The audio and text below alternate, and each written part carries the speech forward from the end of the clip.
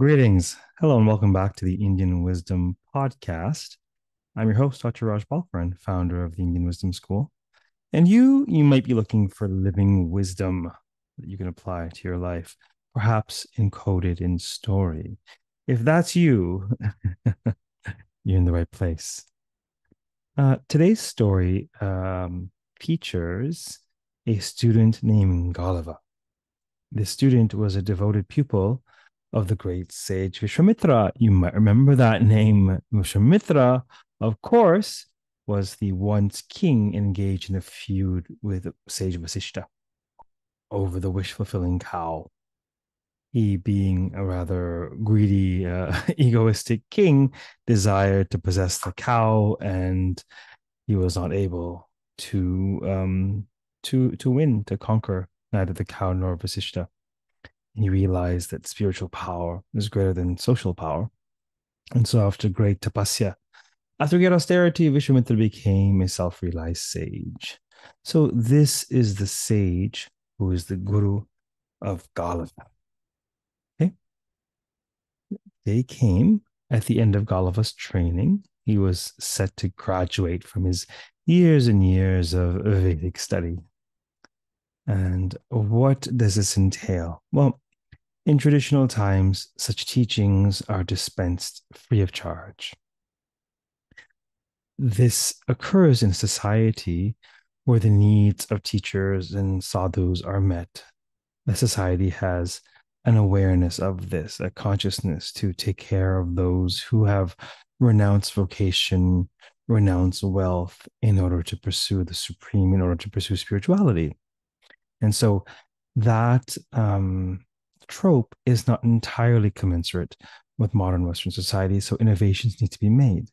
But nevertheless, it's useful to know that in ancient India, and to a certain extent in even modern India, uh, not so much in the diaspora, though there might be some exceptions, we see that uh, householders, earners, take care of those who have renounced earning for the sake of learning or churning, spiritual burning, as it were.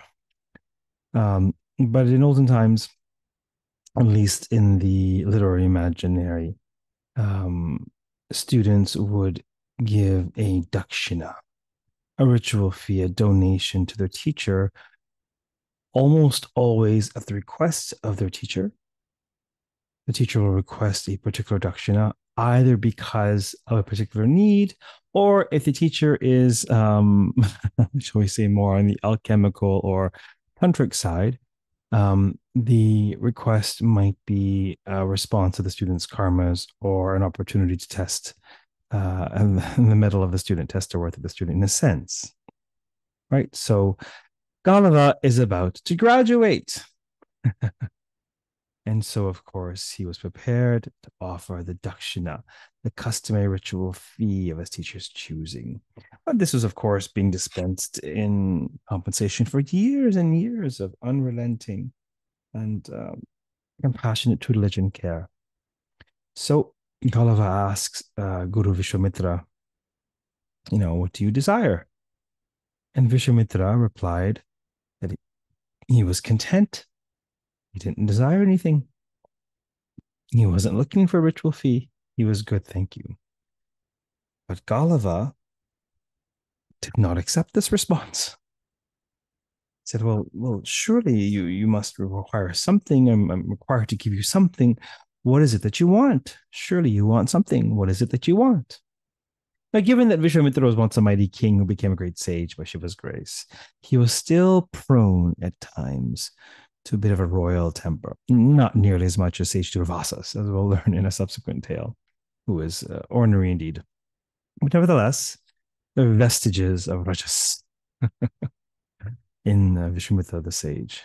So after Galava's incessant prodding, um, prodding prompting uh, regarding a gift, Vishwamitra sharply responds, just to shut him up. Okay, since you insist on giving me a gift, then I request you pay me for your training with 800 horses, each as white as snow, each with one single black ear. Go and fetch me the gift you're so eager to give. Familiar with the sage's temper. Galava backed away easily, backed out of the situation, paying his respects. Uh, now confounded as to how to procure the gift of his teacher's choosing, because now he's bound by this request. Now, it's interesting, right? This is a conversation I have with loved ones from time to time, whether I'm the recipient or the giver of the gift. Folks seem to have a really hard time understanding that the gift you're giving is not for you, it's for the person to whom you're giving it. And so you are wise to understand their needs and their wants. You might take a dear friend out to dinner. You might be a vegetarian and they might quite enjoy steak. So what will you buy them? Tofu bits for dinner? Or you might be carnivorous and your your dear friend might be um vegan. What will you buy them? Oh, it's your birthday. I have to get your birthday cake. Dude, I'm pre-diabetic. I'm no, no, no. We have to get your birthday cake. It's your birthday. The person is just caught up in the trance of their conditioning. You know, it's like they really want to give you a gift, and it's really more about them than you. Can you really empathize with the person and understand what their wishes are? That is the that is the premise of a gift. Right. Now, I think we can all see the misstep that Galava made in egoistically insisting on giving a gift, because then it stopped being about Vishwamitra. It was all about Galava and his need to give a gift, right? So he realizes how foolish he, he had been to have demanded to give a gift. It was his ego that insisted upon it. And he understood why he received the punishment of this impossible task. Punishments are not um, vengeful as the divine punishments or punishments from gurus are not vengeful typically as they are uh, often construed in an Abrahamic context. They're pedagogic. They're not like an eye for an eye or you need to be punished because you've been bad. They're they are what can I teach you? A guru's punishment is always pedagogical. Otherwise, he's not exactly a guru. right? The symbolism of the horses was not lost on him either. They represented the status of his training. Oh, what do you mean? What do you mean? The Status of his training? What are you talking about? Well, they're all white. Think of white as purity, as emblematic of purity. Galava is like this horse where he's pure, except one piece is black. One piece is yet sullied. His ear. he needs to work a little bit on his listening skills. Right? He needs to listen a little more clearly and heed what is being said to him. He's not uh, bowing before his guru out of fear or out of giving up his power. But if his guru is wise and spiritual, he's actually um, he's actually deferring in reverence to the divine presence. And what is the point of having access to the divine presence if we cannot receive it, relate to it, because we are caught up in ego? Yeah. So, anyways, he has an arduous task before him. The penniless Galava, of course, he spent his entire life so far studying, could not possibly afford one single horse, much less 800 hundred horses. So he thinks to himself, how can I solve this problem? A little bit of creativity, a little bit of grace. Let's see what we can do. It's a little bit of an adventure. Well, he knows that there's this king called Yayati, who's a great and generous king. So he pays a visit to the court of King Yayati. The king suggests that he approach his daughter Madhavi, she had been granted a very unusual boon by her grandfather Shukra. Shukra is actually the planet Venus. Um, Madhavi is, is the uh, granddaughter of Venus himself, Shukra, Shukracharya. Shukracharya is the guru of the demons, actually. Uh, Brihaspati is the guru of the gods. That's Jupiter and um, Venus. Uh, Shukra, Shukracharya is the Daityanam Paramam Guru. He's the supreme um, guru of the Daityas, of the Rakshasas, of the demons. Anyhow, there's much symbology there. Perhaps we'll flesh that out in another podcast. But, you know, Madhavi was given this really interesting boon. And the king was confident she would know the right course of action for Galava. So Galava was ushered into the princess's salon where he told her of his conundrum. Well, said Madhavi, I strongly suspect our destinies are tied, O Brahmin. Perhaps you can offer my hand in marriage to a proper suitor in exchange for the horses you seek. I wish to come with you and see where fate takes us. Galava, intrigued, as intrigued as he was confused by this this rather incredible and, and perhaps slightly unconventional uh, woman, he, he, takes her up on his offer. Sure, what, what have I got to lose? Who could refuse help in a sticky situation? Yeah.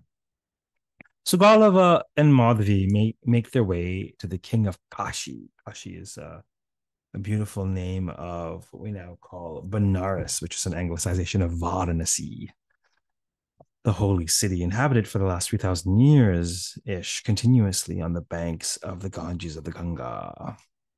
So they make their way to the king of Kashi, and he indeed has white horses with black one black ear each. He has a number of them, indeed, 200 such horses. He was a handsome and impressive man, and Madhavi's presence was as irresistible was uh, uh, uh, um, and Madhavi's presence was um, irresistible, really, to, to most who feasted on her. The two were instantly attracted to each other. To Galava's great surprise, Madhavi asked the king, Will you be willing to have me for a bride, but only for as long as it takes to produce a royal heir in exchange for 200 horses? Galava, the, concern for Madhavi's welfare, calls her aside and says, Hey, hey, you know, you're going to be okay, you know, with this uh, king of Kashi? You know, in those times, such such action, such behavior, such such agency on behalf of women was certainly not typically not possible or certainly not welcome.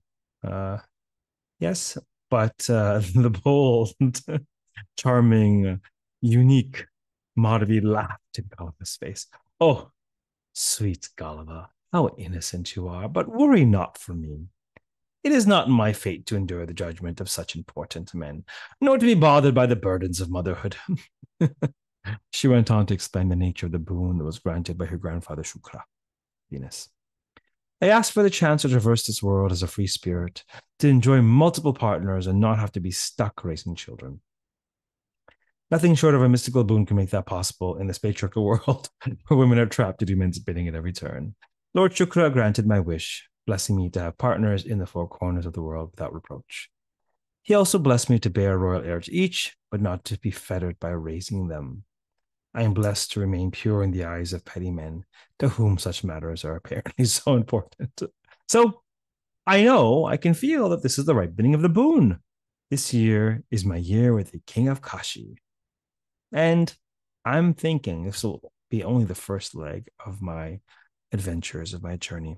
Come back once I've had my fill of him and produce his royal heir to be raised in his palace. Utterly lost for words. both that both by virtue of his gratitude and also by virtue of his astonishment at this arrangement, which was beyond reckoning as far as he could tell.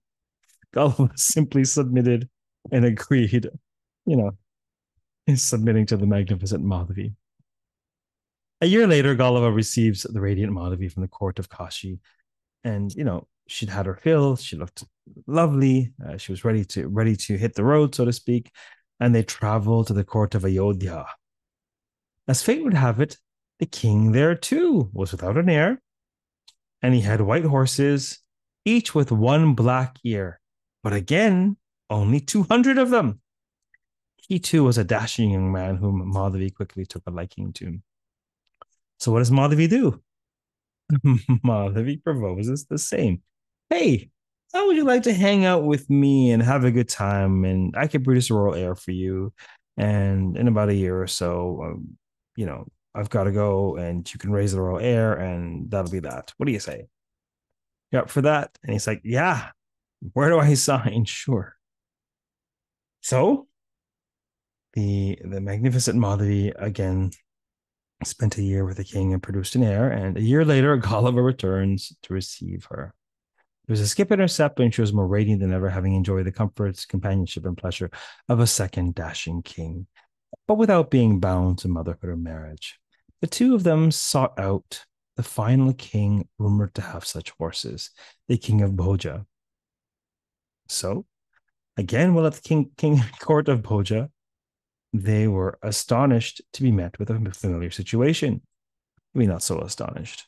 The king had 200 such horses, completely white horses with a single black ear, which he was more than happy to trade for a year with the delightful Madhavi and a chance to procure a royal heir to his throne. So again, Galava returns a year later to meet Madhavi. She had enjoyed all that she, she had learned and experienced at the court of Bhoja. Galava, however, was a little bit dejected.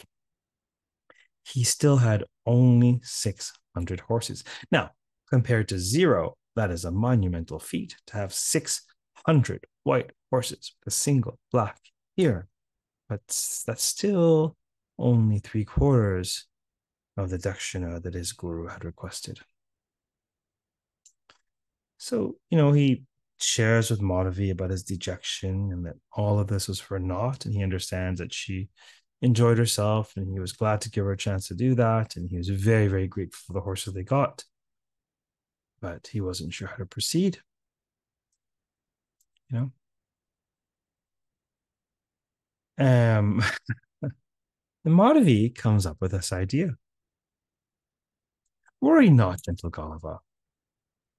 I have heard of this guru of yours, of the sage of yours, and I know he has chosen a life of humble penance. But he too was once a great king. And one imagines he must therefore need an heir to install to his abdicated throne. She was intrigued by his stature and spiritual power and suggested they make the same bargain as they had three times before.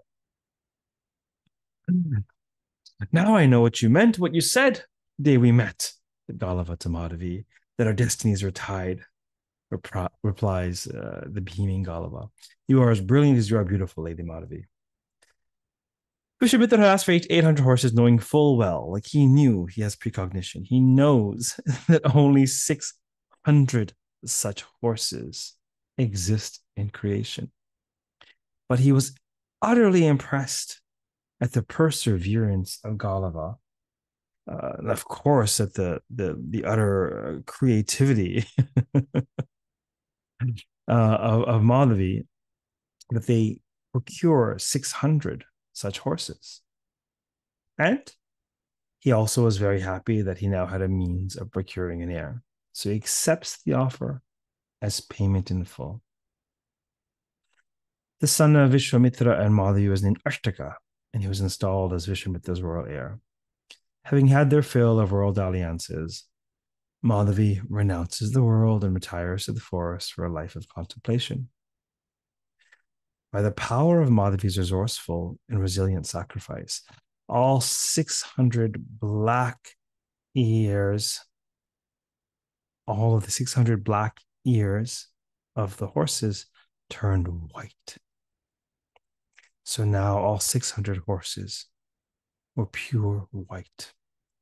And this was an omen signaling that Galava's training was complete, and he now had the capacity to hear and to heed his guru's words, and by extension, those of everyone to whom he was speaking. Just as the female counterparts, the male gods, are considered the Shakti, the power of that god, so too do we see Galava's aims powered by the mighty Madhavi.